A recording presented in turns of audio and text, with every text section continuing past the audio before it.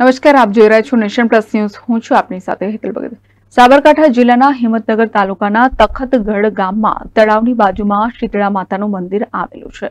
ત્યારે આજે શીતળા સાતમે મહિલાઓ દ્વારા પૂજા અર્ચન કરવામાં આવી હતી. હિંમતનગર તાલુકાના તખતગઢ ગામના તળાવ કિનારે શીતળા માતાનું મંદિર આવેલું છે. ત્યારે આજે સાતમ નિમિત્તે તખતગઢ ગામની મહિલાઓ દ્વારા ભાવપૂર્વક પૂજા અર્ચના કરવામાં આવી હતી. આજે શ્રાવણ વધ સાતમના રોજ શીતળા સાતમ હોવાથી અમારા ગામની સર્વે મહિલાઓ સવારના વહેલા ઉઠી માથા બોળ નાહી ધોઈ અને શીતળા માના મંદિરે આવી અને આરતી, વાર્તા અને થાળ કરી અને કુલરનો પ્રસાદ નૈવેદ્યમાં ધરાવી અને અમે સૌ બાળકો અને પુરુષોની લાંબી ઉંમર અને સ્વાસ્થ્ય, સારા સ્વાસ્થ્ય માટે પ્રાર્થના કરીએ છીએ. અને શીતળામાં પ્રત્યે અમને ખૂબ અતૂટ વિશ્વાસ છે અને માતાજી અમારી સર્વેની મનોકામના પૂર્ણ પણ કરે છે. વર્ષોથી ચાલતી પરંપરા મુજબ શીતળા સાતમે મહિલાઓ વહેલી સવારે મંદિરે જતી હોય છે અને માતાજીના મંદિરે માતાજીને પ્રસાદ અર્પણ કરે છે અને મહિલાઓ ભેગી મળી કથા વાર્તા આરતી કરી ધન્યતા અનુભવતી હોય છે.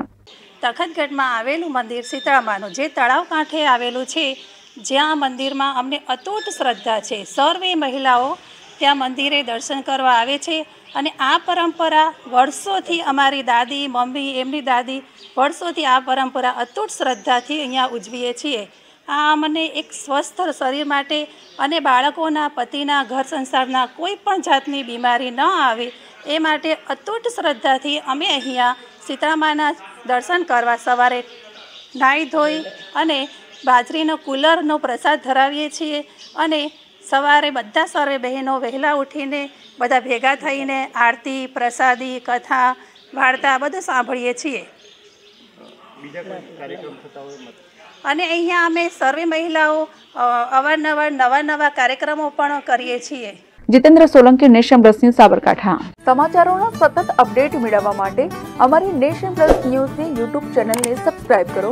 બેલ આઇકન દબાવો અને જોડાયેલા રહો ફેસબુક ઇન્સ્ટાગ્રામ અને ટ્વિટર પર.